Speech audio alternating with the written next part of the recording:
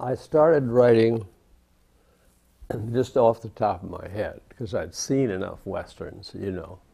I hadn't read them, but I'd seen enough westerns, and, I, and there was there were the ones that I liked, and uh, so I just started writing them, and gave, and sent them to pulp magazines, and they they were rejected.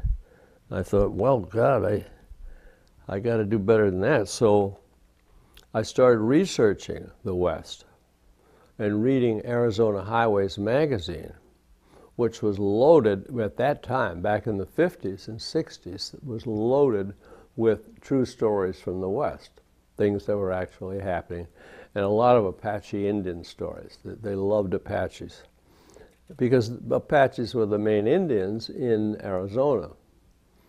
And uh, So I learned a lot about Apaches, and I, I, have a book down there I still look at from time to time with uh, facts about the Apaches, the names of the, ma the main guys. And Geronimo you've heard of, and, and perhaps some others.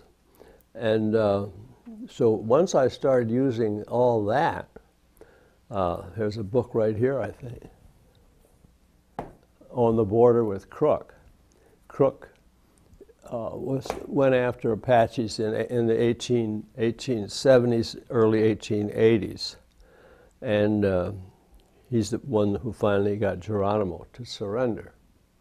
So this, this was when I finally uh, began looking into the background of all, the, all this that was going on. It became so interesting to me that I started writing the stories with history in mind, not but not being bogged down by it. Don't get so caught up in the history that, that it becomes boring, you know. But, but there's a flavor of history behind all the stories. And, uh,